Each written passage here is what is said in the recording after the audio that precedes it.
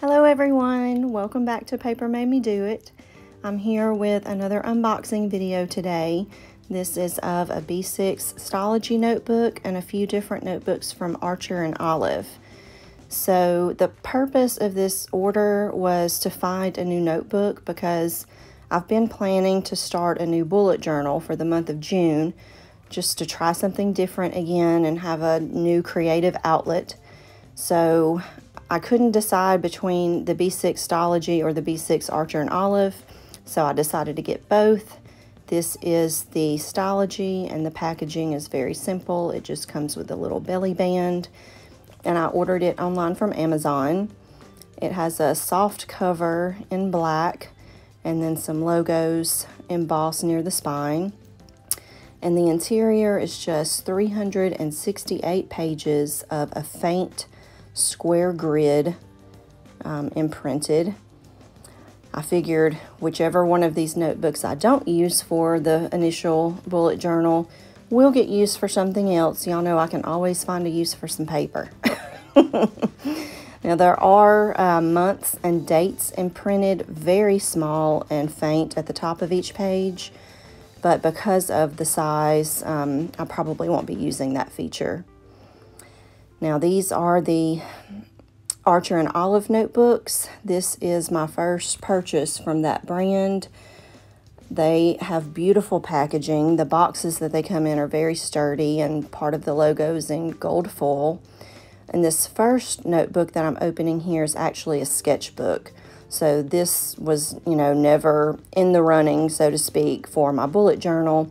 I wanted to try their sketchbook. It does have an intro page at the beginning of the book. And then on the inside, instead of a square grid or dot grid, the sketchbook is just solid blank white paper. It is the 160 GSM thick paper that this brand is known for. And it has a ribbon bookmark with a cute little charm of the company logo on one end. And there's also a large pocket in the back like most bullet journals have these days. I forgot to take a shot of that. Now, this is a B6. It's not a B6 Slim. It is a full B6, so approximately 5 by 7 It has a cloth, kind of linen-like cover.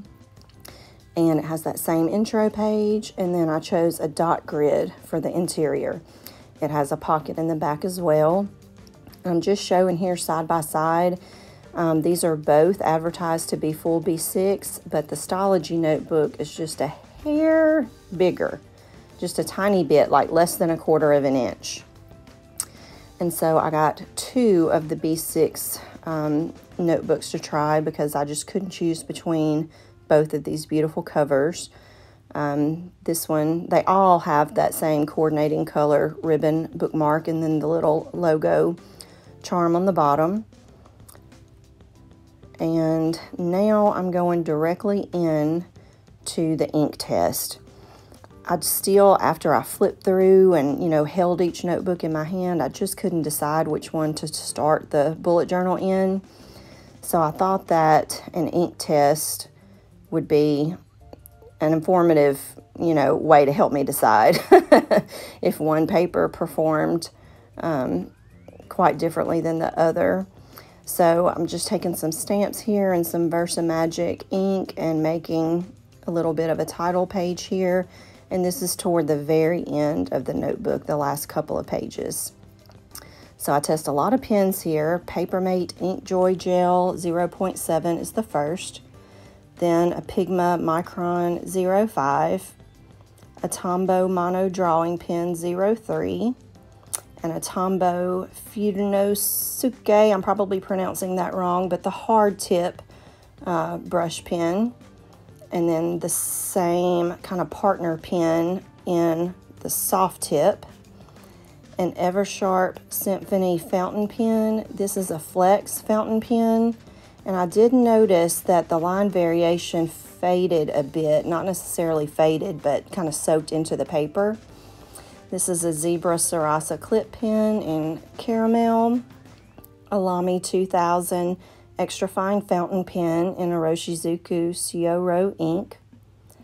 a Pilot Vanishing Point fountain pen in a medium nib with an Ackerman dark blue ink. I didn't have time, or not time, but space to write the name.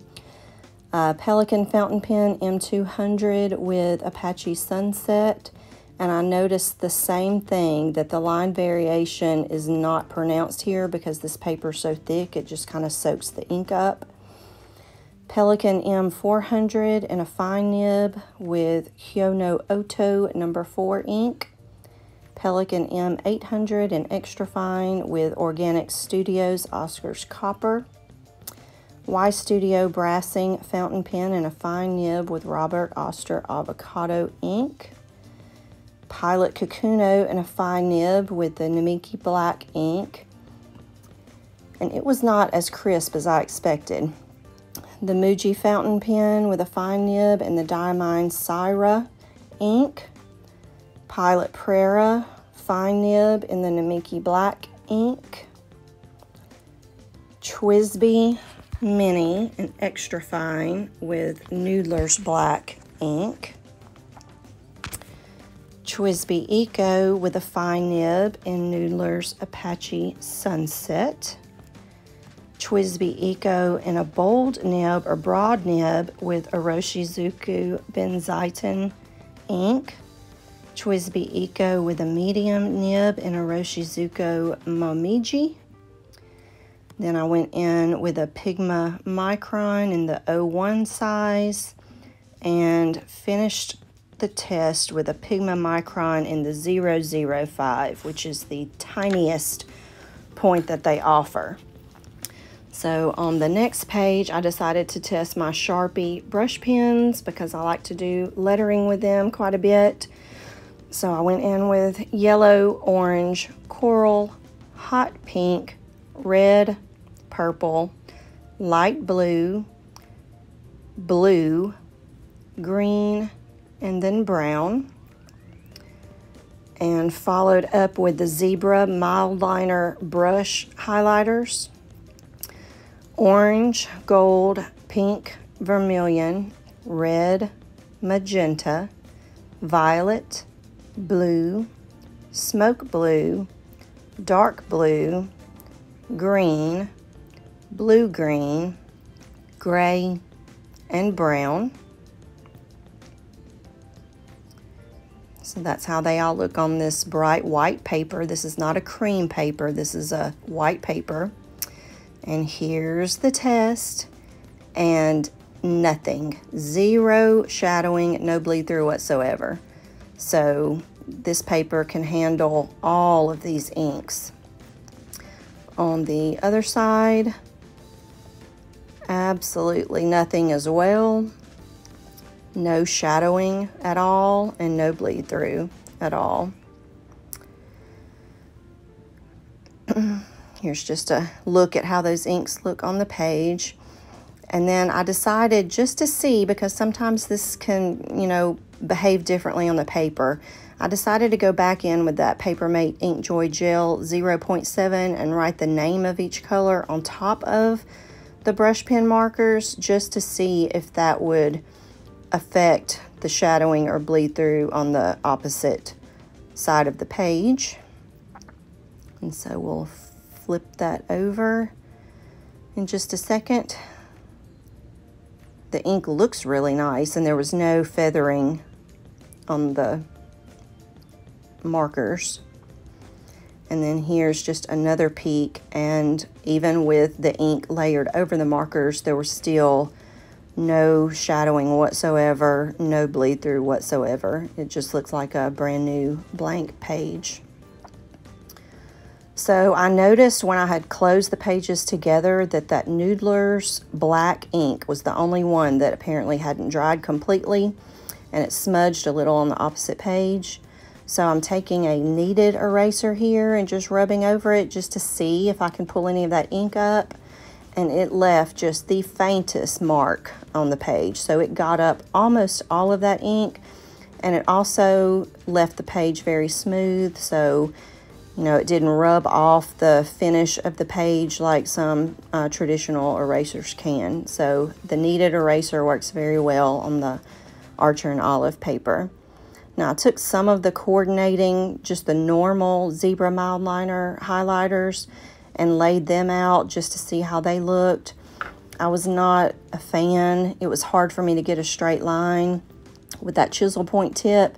And the same thing happened here that happens on my Tomoe River paper where the ink kind of pools a little at the end of the line as you pick your uh, marker up off the page. So I probably won't be using those in this book. And then I decided after that ink test to go in and do the same thing with the Stalogy notebook.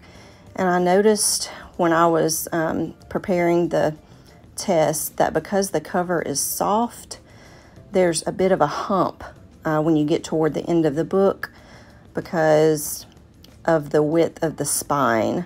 So I think you'll be able to see what I'm talking about here in just a second. Uh, the left side stamped fine because you had the entire book there to use as a good solid base.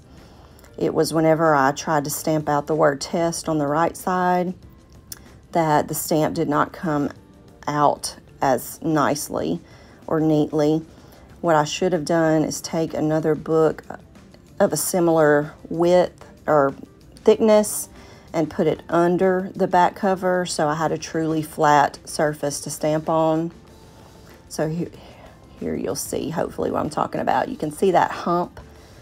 So I should have known better, but you know, it's not the end of the world. I did end up taking a Pigma Micron and just kind of going over that letter E that didn't quite come through and kind of touching up where the stamp should have been. So I was just trying to show the difference in the height and width there. So I just touched up that little E and it ended up turning out okay. But as you get to the very back of the book, if you're going to do any stamping next to the spine, you need to put some type of base underneath it. So I repeated the exact same ink test in the Stalogy. I didn't, you know, film every single line for you, but I went through and pretty much made an identical ink test with those pens. And I did notice that on the Stalogy paper, the line variation was maintained with the Flex fountain pen and the Pelikan fountain pen. So that was nice.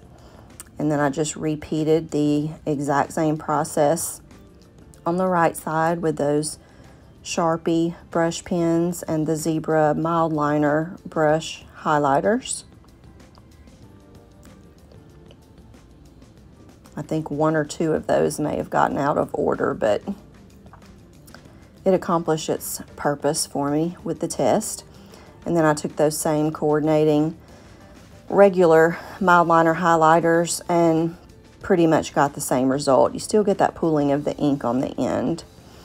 So I decided to go in and just make each test identical.